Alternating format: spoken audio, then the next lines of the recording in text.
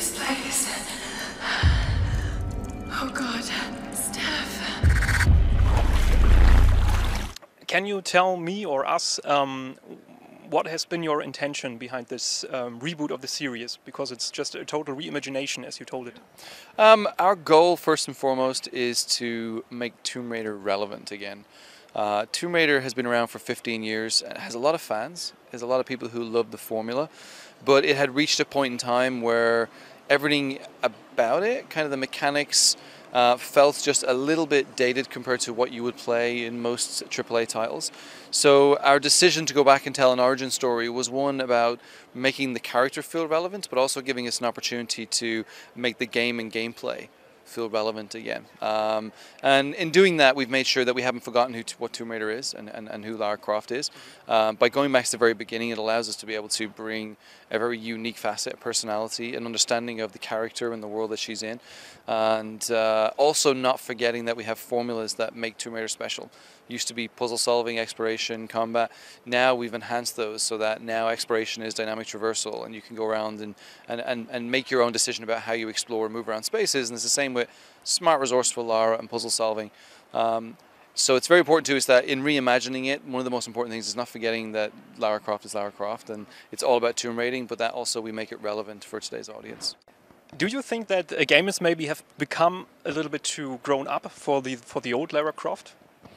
No, I think you know Tomb Raider's, as I said, it's been around for such a long time, and it was a T-rated game. You know, so even even if we work the math from Legend, Anniversary, and Underworld, most people who played it, if they were 13, they're pretty much 17 now by the time this game comes out. So they've kind of grown up. There's also a lot of people who grew up with Tomb Raider from Tomb Raider One. Um, and love the franchise, and, and and I think for us going back and reimagining is important because we want the players of today who may never have played a Tomb Raider game but understand or know the franchise to feel like they can start from the beginning and then for Tomb Raider fans to really see a side to our character which they've never seen before. Uh, so that's good that you say that because my next question would have been if you are afraid of losing long-time fans with the new direction the series has taken now. Yeah, I think as you can see from today, you, you know, part of our goal is to make sure that we get out and we bring the fans as close to the game as possible. When we announced the reimagining, uh, you know, 18 months ago, we brought as many fans as close as possible to make sure that they understood what we were doing and that we weren't forgetting what Tomb Raider was about and who she was. So I think they respected that. I think a lot of them have really felt like this is bringing in new facets to the franchise and something that's very exciting. But at the same time, they realized that it's something that needed to happen. Um, you know, Tomb Raider has its hardcore fans from from back in the day, Tomb Raider One, and you know some of them may or may not be happy, and they pretty much voice it quite a lot, whether it's through my Twitter account or through forums. But at the end of the day, they understand that we have to make these changes. Uh, we need to make the game, you know, relevant. I think the community have been huge ambassadors for what we're doing. Um, you know, E3 has just gone by, and we brought 20 plus community members out to E3, flew them in, let them go around the show, see some of the competition in the games, come and play Tomb Raider, hang out with us, do some interviews, and they're the ones who've gone back and really kind of understood uh, what we want to try and do with this vision for the new Tomb Raider. So I believe the fans are, uh, are quite excited to see Lara go in this new direction. Yeah, I think that's a cool way to interact with the community, so not bad. Uh, another question um, I have is regarding your um, presentation at E3 2011, because there was a huge, huge uh, hype after that. Um, how do you handle those huge expectations? Um, uh, well, the first thing we did was went quiet we realized that um, you know we had announced the game in spectacular fashion with uh, one of the biggest magazines in the world, and then we brought all the territories in and we presented it, you know, one to one.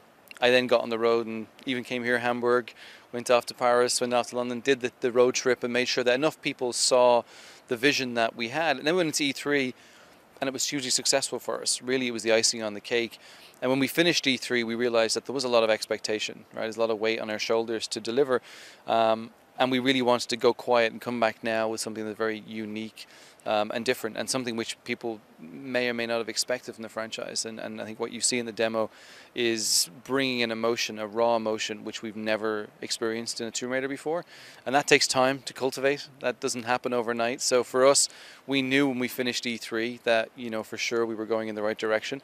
But we also needed to go away and make sure that we could deliver on those promises. So we're excited. There's there's a lot of uh, weight in our shoulders of expectation of success, but uh, hopefully you'll see from the demo and from the direction we're going in, we're we're trying to make sure we live up to the promise and deliver on that. Okay, looking forward. Um, what do you think are the biggest differences between the between the old and the new Lara Croft? Um, I think one of our, our, our, core differences is that we're going to show you a side, uh, a personality and a side to Lara which you haven't really seen before. I think as you get far enough into the game, you'll start to realize this is still Lara Croft. Uh, we're just presenting her in a very fresh and new approach. We're giving her a facet of a character which um, has rarely ever been seen. Lara had become a caricature of herself over time and really for us we wanted to sort of break that mold but not forget who she is. So I think it's uh, it's it's important that we we stay true to the franchise and don't sort of break from the mold or break from the formula too much. But I think there's, uh, there's certainly for for people who know old Lara, they'll still play this game and feel like okay, she's still, you know, she's still smart, she's still ambitious, she's still got all the sort of the the attributes that we need in the character. But at this early stage of what we're presenting, you're just seeing a very fresh side to her that will eventually when when she reaches the point where she's the action adventure hero, you'll just feel for her a lot more. You'll understand the situation she's in, and the motivation of the things she's going through. Is she still the same person than before? Um, no, I think naturally you have to make some changes. Uh, you know, it's a bit like Daniel Craig and James Bond. You know, he's not Roger Moore and he's certainly not Rod, uh, Timothy Dalton. Um, he's a very unique character, and I think with Lara, we have to make sure that we make her stand out. She has some unique facets to her that will make her character feel relevant to today. Um, and certainly, if you were to take the older Lara Croft and bring her into today's audience, she wouldn't stand the test of time. People would see through it straight away. You know, back in the day, she was a little bit arrogant and sarcastic, and that worked to a point. Now we want the character to feel that she's relevant to everything that you see, the culture, um, you know, the characters, the people that you meet, the TV shows, and the movies that you watch. Lara has to fit inside of that world now, so she will have some uh, unique facets to her compared to where she was in the past.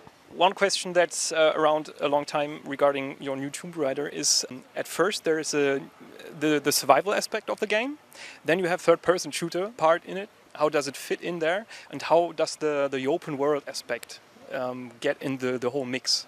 So I think there's there's a there's a couple of different points to that which I want to make sure I answer. Is one, um, the game won't be open world in the sense where you can walk from one side of the island to the other.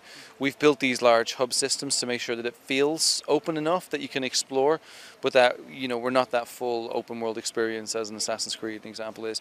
Um, in terms of balancing combat and, and, and you know going from a third person shooter, the idea is to make sure that the story feels relevant and she feels motivated to have to do things. So at the beginning, we show you a very story driven, cinematic heavy, uh, very immersive QuickTime events so that the player is sucked into that world. And then when you go through the fray of your first kill, Samantha being kidnapped and seeing Steph killed and the other survivor somewhere on the island, you're having to fight to survive. So you feel motivated to have to pick up the bow and arrow or the gun and do what you have to do. Um, we don't ever want the player to go into a position where they feel like they're just basically running and gunning you know, and mowing down people. You always feel like you're being a little bit more tactical. You're kind of looking at the situation with a little bit more depth than just running in and picking up your pistols and firing away. So there is a, a very fine line between making sure the balance feels right for the story, but it also feels like a fun game. You you don't want it to be that story heavy that you feel like oh it was great I I now know what she's doing, but I didn't really get to play a game here. So for us, there is a balance between making sure that you feel like there's uh, there's a real action adventure game there at its heart. Cool, looking good. So thank you very much for your time. No thank you very much. I hate tombs.